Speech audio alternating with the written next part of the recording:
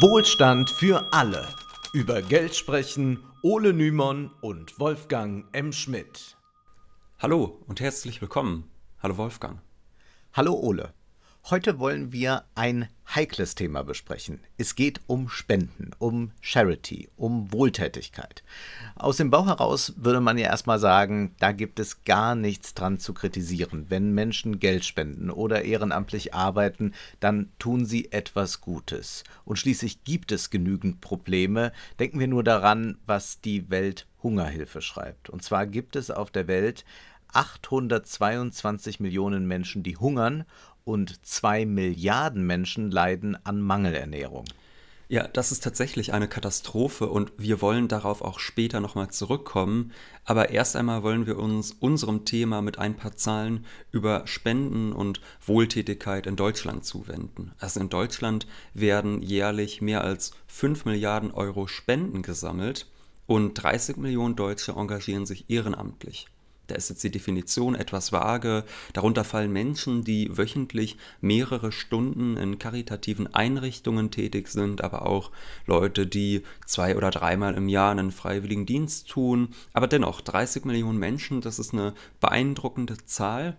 Spitzenreiter beim Engagement ist äh, der Sport mit knapp 11,5 Millionen Ehrenamtlichen. Äh, 6,4 Millionen Menschen sind im Bereich Kultur tätig in Deutschland und 6 Millionen engagieren sich im Bereich Soziales. Das sind beachtliche Zahlen. In Sachen Spenden überbieten uns allerdings die USA. Mehr als 400 Milliarden Dollar werden dort jährlich gespendet. All diese Zahlen klingen großartig, jedoch wollen wir hier zeigen, dass die hohen Spenden und der hohe Einsatz im Ehrenamt auch Schattenseiten haben. In den USA ist es etwa so, dass rund 30 Prozent der Spenden von den reichsten 0,5 Prozent der Bevölkerung kommen. Und damit sind wir bereits bei dem ersten Problem angelangt. Was bedeutet es denn eigentlich für eine Gesellschaft, wenn dort die Reichsten so immens viel Geld spenden? Zum Beispiel hat ja Mark Zuckerberg vor einer Weile 100 Millionen Dollar an Schulen in Newark gespendet. Allerdings, so stellte sich dann später heraus, wurde das Geld sehr ineffizient eingesetzt und das ging zum größten Teil an Berater. Die Schüler, die hatten relativ wenig davon. Ja, und Zuckerberg, der hat ja auch äh, zusammen mit seiner Frau die Chan Zuckerberg Initiative gegründet. Und im Laufe ihres Lebens wollen sie 99 Prozent ihres Vermögens dieser Initiative geben. Die Nachricht ging ja vor einigen Jahren um die Welt und da waren auch alle ganz beeindruckt von so viel milder Wohltätigkeit. Aber da muss man dann auch mal sagen, das ist keine Stiftung tatsächlich, die Shen Zuckerberg Initiative, äh, sondern es ist eine Limited Liability Company, also eine Art GmbH. Und diese ähm, Limited Liability Company hat eben das Ziel, so heißt es dort, das menschliche Potenzial voranzutreiben und Gleichberechtigung zu fördern. Gut. Auch das also, klingt prima. Klingt prima. Äh, da würde ja auch keiner widersprechen. Ne? Also menschliches Potenzial fördern und Gleichberechtigung fördern. Äh, da sind ja erstmal alle dabei. Aber da muss man dann auch fragen, gut, was ist jetzt eigentlich mit dem menschlichen Potenzial gemeint? Und wir sehen relativ schnell tatsächlich bei dieser Initiative, dass da einiges nicht so ganz uneigennützig zu sein scheint. Also zum Beispiel hat eben die Chan Zuckerberg Initiative 24 Millionen Dollar in ein Startup investiert, das in Afrika Softwareentwickler ausbildet. Und gut, wer könnte jetzt in seiner Firma hochqualifizierte Softwareentwickler gebrauchen, Wolfgang? Richtig, Mark Zuckerberg. Ja, nun, Uneigennützig ist das vielleicht nicht, aber wenn jemand Gutes tut, dann kann man dieser Person ja auch gönnen, dass sie einen gewissen Vorteil daraus zieht. Dennoch sollte man eines bedenken. Laut Forbes Liste betrug Zuckerbergs Vermögen im Jahr 2018 77 Milliarden US-Dollar. Auch bei richtigem Luxuskonsum, ja. Also wenn mal alle Segelyachten, die man so haben wollte und alle Privatjets gekauft sind und man hat mal zehn Häuser und 50 äh, Autos, dann wird das diesen immensen Reichtum kaum schmälern. Wer mhm. so reich ist, der weiß eigentlich gar nicht, wohin mit dem Geld. Und so kann man natürlich mit dem Geld noch was anderes machen. Man kann nämlich versuchen, dann in Form äh, von Spenden seinen gesellschaftlichen Einfluss auszubauen. Zum Beispiel mit Initiativen oder auch Stiftungen, über die man ja weiterhin die Oberhand behält. Auch bringt das Ganze oft steuerliche Vorteile mit sich, wenn man so viel spendet. Ja, zum Beispiel spenden CEOs dann gerne Aktien ihres eigenen Unternehmens an ihre eigene Familienstiftung. Also da behalten sie dann weiter die Kontrolle äh, über ihre Aktien, aber müssen dann meinetwegen keine Kapitalertragssteuern zahlen, obwohl sie Aktien ja transferiert haben. Und zugleich können solche Schenkungen an eigene Stiftungen dann von der Steuer abgesetzt werden, sodass die Superreichen weniger Einkommensteuer an den Staat zahlen müssen. Selbstlos ist das nicht und die Superreichen, die können sogar ähm, ein sehr lukratives Gespr äh, Geschäft mit den Spenden machen. Das hat David Yermak äh, Professor of Finance an der NYU Stern School of Business schon 2008 in einem von ihm veröffentlichten Paper gezeigt. Der Link zu dem Aufsatz, der steht in der Beschreibung. Und in diesem Aufsatz, da heißt es, dass die Transfers von eigenen Aktien an eigene Stiftungen nicht als Insiderhandel gelten. Diese Gesetzeslücke hat einen großen Vorteil für die vermeintlich edlen Spender. Ja, also Jörmark schreibt, Zitat, dass Aktiengeschenke von CEOs kurz vor einem signifikanten Kursrückgang der Aktien ihrer Unternehmen erfolgen, ein Muster, das es den Spendern ermöglicht, erhöhte persönliche Einkommensteuervorteile zu erhalten. Und er schreibt weiter, Beweise im Zusammenhang mit Meldeverzögerungen und saisonalen Mustern liegen nahe, dass einige CEOs Aktiengeschenke an ihre eigenen Familienstiftungen zurückdatieren, um die persönlichen Steuervorteile zu erhöhen also Jörg meint, dass es sich da teils um eine mitunter sogar aggressive Strategie der Steuerhinterziehung handelt, was natürlich jetzt nicht bedeutet, dass alle Superreichen ihre Stiftungen und Spenden nutzen, äh, um unredlich zu handeln. Aber wir wollen nur sagen, man sollte immer auf der Hut sein, wenn die Gönnerlaune der Vermögenden in der Öffentlichkeit gepriesen wird. Ja, Großspenden zu beurteilen, das ist nicht so einfach. Trotzdem appellieren viele an die Reichen, dass sie ja die Chance hätten, Armen nun etwas Gutes zu tun, diese Welt zu verbessern. Viele Zuhörer kennen vielleicht den deutschen Dichter und Kinderbuchautor Erich Kästner. Und der hat vor 90 Jahren ein Gedicht an die Millionäre geschrieben. Und darin heißt es, der Mensch ist schlecht, er bleibt es künftig. Ihr, also die Millionäre, sollt euch keine Flügel anheften. Ihr sollt nicht gut sein, sondern vernünftig. Wir sprechen von Geschäften. Ihr helft, wenn ihr halft, nicht etwa nur ihnen. Man kann sich, auch wenn man gibt, beschenken, die Welt verbessern und dran verdienen, das lohnt, drüber nachzudenken. Macht Steppen fruchtbar, befehlt, legt Gleise, organisiert den Umbau der Welt, ach gäbe es nur ein Dutzend Weise mit sehr viel Geld. Ja, und besonders schön ist ja der, der Imperativ befehlt. Ja, ja, die Reichen haben zu die befehlen. machen. Ja. ja, und da hat man das Gefühl, dass Bill Gates dieses Gedicht kennen könnte und wenn er es nicht kennt, würde es ihm wahrscheinlich gefallen, denn er und seine Frau haben zusammen die Melinda und Bill Gates Stiftung gegründet und sie gelten als zwei der größten Wohltäter auf dem Planeten. Also sie unterstützen den Kampf gegen Malaria, die Alphabetisierung von Armen und viele weitere Hilfsprojekte. Und Gates beruft sich dabei eben nicht auf Erich Kästner, sondern er beruft sich auf Andrew Carnegie. Das ist ein Stahltycoon, der 1919 starb und der hat eben damals 350 Millionen US-Dollar gespendet. Das wären heute knappe 9 Milliarden Dollar, also irre viel Geld. Und Carnegie gilt eben als einer der größten Philanthropen und er inspiriert mit seinem Essay The Gospel of Wealth bis heute Superreiche. Schauen wir uns mal an, was Carnegie schreibt. Er sagt da, Vermögen kann in den Händen weniger viel eher zu einer starken Kraft werden, die zur Vervollkommnung unseres Geschlechts beiträgt, als wenn es in kleinen Summen an das Volk verteilt würde. Diese Erkenntnis kann sogar den Ärmsten begreiflich gemacht werden. Ja, also die sogar ja, den Ärmsten, da sieht man Armen schon einen gewissen Ton. Das ist ne? wirklich nett, ne? Ja, also die, die, die armen Dummen in, in mhm. Klammern will er hier sagen. Ja. Ähm, na, hinter diesen Worten verbirgt sich ja auch ein elitäres Weltbild. Gemeint ist, die Reichen verstehen es natürlich viel besser, was für die Armen gut ist, als wenn die Armen sich um sich selbst kümmern müssten. Das wird im folgenden Zitat dann noch deutlicher. Da heißt es, wenn der Reiche sein überlegenes Wissen, seine Erfahrung und sein Talent als Manager in den Dienst seiner ärmeren Mitmenschen stellt, wird er deren Vermögensverwalter. Er hilft ihnen damit mehr, als sie sich selbst helfen könnten. Auch dieses Zitat ist sehr arrogant und ich stelle mir da die Frage, warum soll denn eigentlich jemand, der erfolgreich ein Geschäft leitet oder der erfolgreich mit Aktien spekuliert hat, dann auch in allen anderen großen Lebensfragen, vor allem wie bekämpft man die Armut, da auch genauso gut Bescheid wissen und sagen, ja, das ist der richtige Mann dafür. Ja, woher soll so ein Reicher wissen, äh, worauf es für die Armen ankommt? Das ist eine gute Frage. Es gibt ja viele reiche Idioten. Ne? Manche ja. von ihnen sind sogar Präsidenten und äh, Bill Gates und andere Superwohltäter, die stehen eben in Carnegies Tradition. Sie glauben, dass sie die Weisheit mit Löffeln gefressen haben und dass sie deshalb auch genau die Richtigen sind, um dann das Geld nach Gutsherrenmanier zu verteilen. Also sie sp spielen mit ihrem Geld auch ihre Macht über Menschen aus und äh, das beweist ein letztes Zitat von Carnegie, das uns jetzt zu denken geben sollte.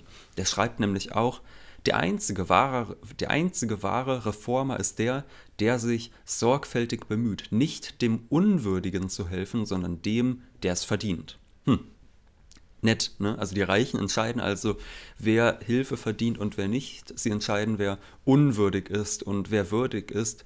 Das heißt, die wenigen entscheiden, wem Hilfe zuteil wird und wem nicht. Da muss man einfach mal sagen, das ist so undemokratisch, wie es nur irgend geht. Vor mehr als 200 Jahren, da hat der Schweizer Pädagoge Johann Heinrich Pestalozzi diese Ideologie schon wunderbar auf den Punkt gebracht. Er sagte, Wohltätigkeit ist das Ersaufen des Rechts im Mistloch der Gnade. Nochmal, weil es so schön ist. Wohltätigkeit ist das Ersaufen des Rechts im Mistloch der Gnade. Die Großspender sind oft Gegner von hohen Unternehmenssteuern. Ihre exorbitanten Gewinne machen sie dank diverser Steuerschlupflöcher, zum Teil mit ganz starker Ausbeutung von Arbeitern auch in der dritten Welt. Sie ersaufen tatsächlich das Recht und sie sind dann so gnädig, wieder etwas abzugeben. Dabei wird die Demokratie ausgehöhlt. Niemand sollte über solche Summen verfügen können. Aus gutem Grund sind ja Politiker vom Volk gewählt und ihre Befugnisse sind genauso beschränkt wie auch die Amtszeiten. Ja, das demokratische Verständnis, das ist dann ein besonderes Thema, könnte man sagen. Es gibt ein Netflix-Format, das heißt Patriot Act und das ist auch auf YouTube verfügbar. Und da gibt es eine Folge, die heißt Why Billionaires Won't Save Us, also warum Milliardäre uns nicht retten würden, werden. Und da wird das sehr schön entlarvt, wie solche freigebigen Milliardäre denken. Also da ist auch ein Gespräch mit Bill Gates und da wird er gefragt, ob er sich dann auch vorstellen könnte, mal Präsident zu sein.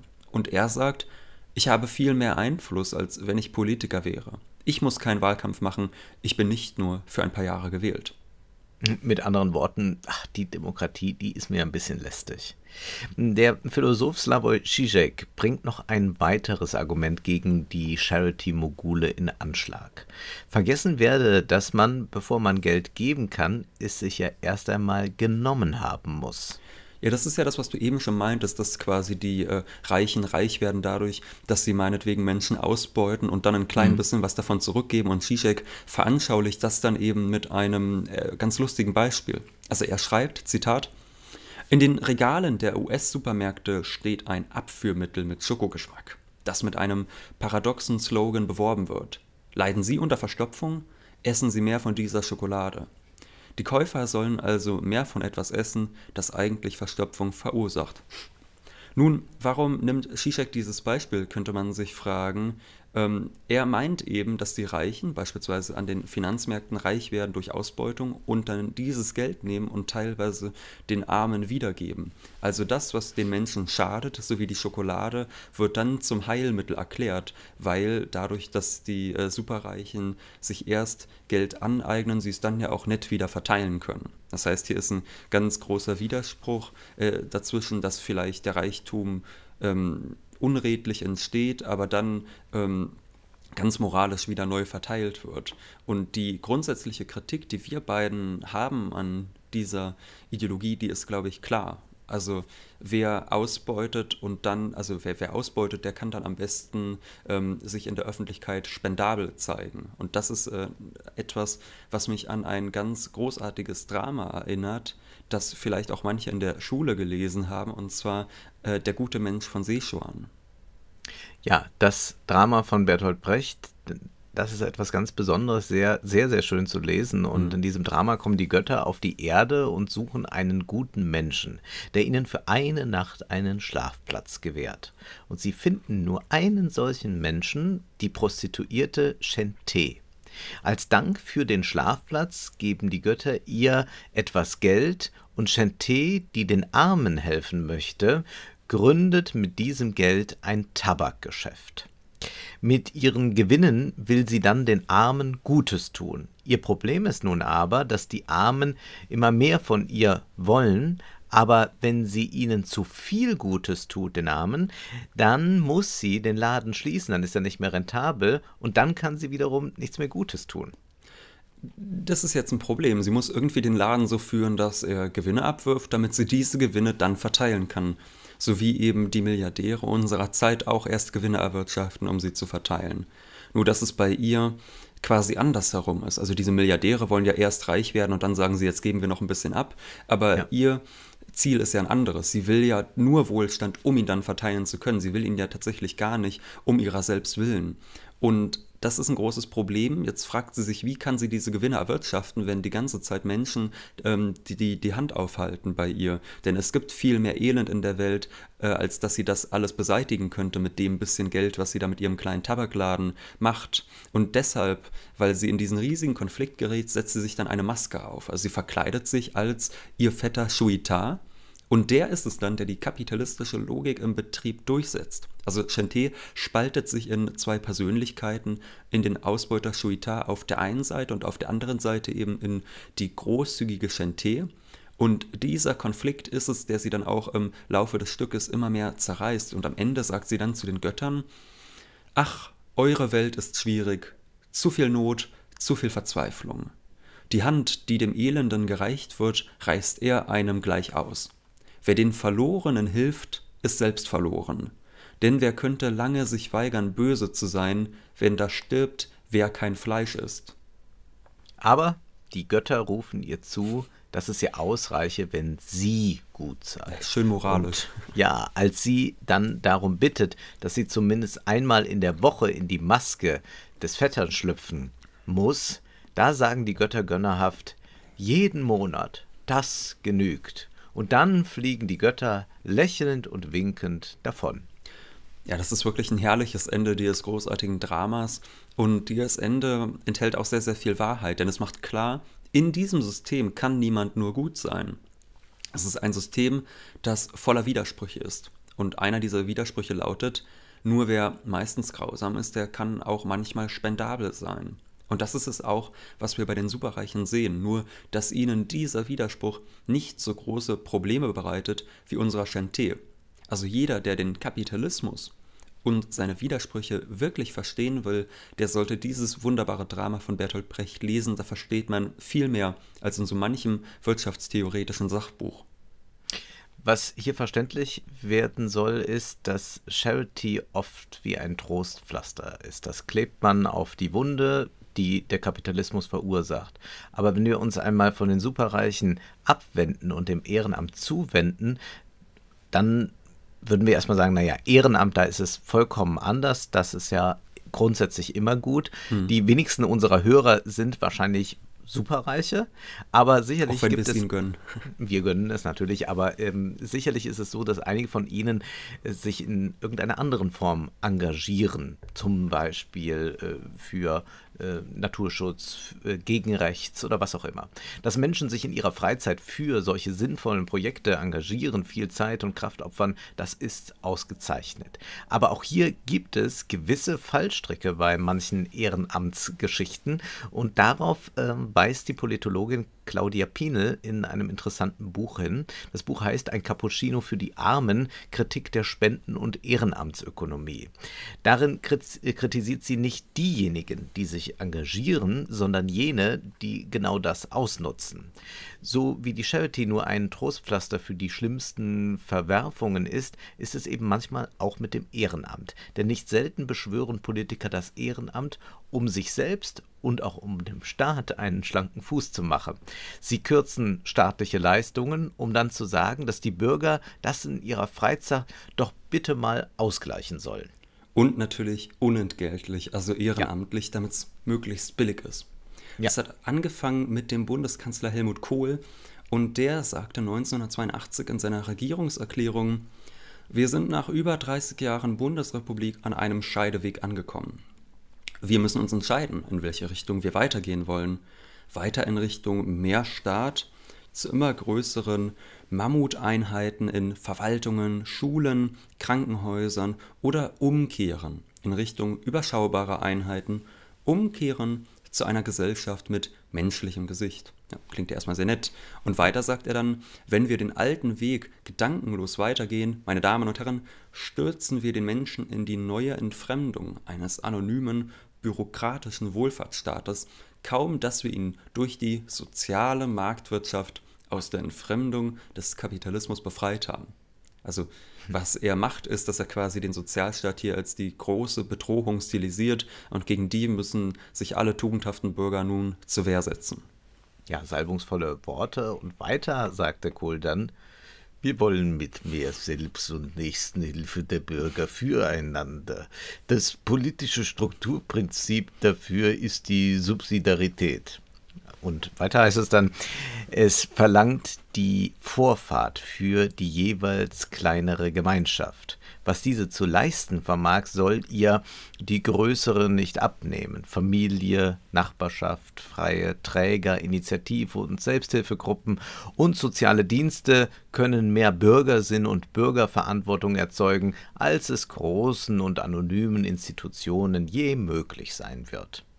Hier geht es auch wieder darum, so einen Zusammenhalt herzustellen, so ein Zugehörigkeitsgefühl. Und das klingt, könnte man denken, doch gar nicht so verkehrt. Doch in Wahrheit zieht sich hier gerade der Staat aus seiner Verantwortung zurück. Jetzt sollen die Bürger mal selbst sehen, wie sie mit all diesem Sozialen so klarkommen.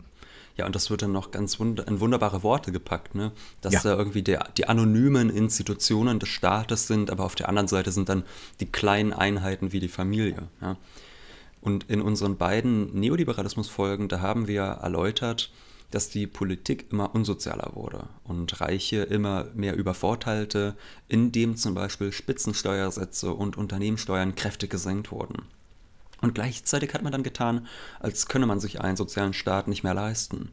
Bundeskanzler Gerhard Schröder, der dann nach Kohl kam, der sprach sogar von einem Verantwortungsimperialismus des Staates. Ja, also für ihn war der Staat quasi imperialistisch in seiner Idee, dass er verantwortlich sei für alle Menschen. Und da hat natürlich dann so ein Anti-Imperialist wie Gerhard Schröder natürlich Widerstand gegen geleistet. Ja. Und äh, er wollte dann eben wichtige Aufgaben, die vormals der Staat übernommen hatte, den Ehrenamtlern auflasten. Das bekannteste Beispiel für eine solche Politik sind die Tafeln, auf die inzwischen in Deutschland mehr als 1,6 Millionen Menschen angewiesen sind. Nur um keine Missverständnisse hier aufkommen zu lassen, die Helfer vor Ort sind nicht zu kritisieren, aber eine Politik, die dafür sorgt, dass Menschen in einem der reichsten Länder der Welt nicht genügend Geld haben, um sich Nahrungsmittel zu leisten. Immer mehr Rentner, die ihr Leben lang gearbeitet haben, bekommen nicht genügend Rente und müssen auf Nahrungsmittelspenden von Unternehmen Unternehmen zurückgreifen. Und für Unternehmen lohnt sich das. Erstmal poliert man damit das Image auf und es ist auch manchmal noch sogar ein gutes Geschäft, denn die Unternehmen müssen dann nicht die teure Entsorgung zahlen von diesen Lebensmitteln. Allein die Berliner Tafeln geben jährlich zwischen 26.000 und 40.000 Euro für die Entsorgung aus. Ja, und das ist an Zynismus dann kaum zu überbieten, wenn zum Beispiel die Grünen-Politikerin Katrin Göring-Eckardt die Tafeln als kleine gelebte Utopien und als soziale Mikrokosmen lobt. 1891, da hat der Schriftsteller und Dandy Oscar Wilde einen bemerkenswerten Aufsatz mit dem Titel Die Seele des Menschen unter dem Sozialismus veröffentlicht. Und darin setzt er sich mit gewohnt spitzer Feder kritisch mit Wohltätigkeit auseinander. Schauen wir uns an, was Oscar Wilde da schreibt. Er sagt, Man versucht zum Beispiel das Problem der Armut zu lösen, indem man die Armen am Leben erhält.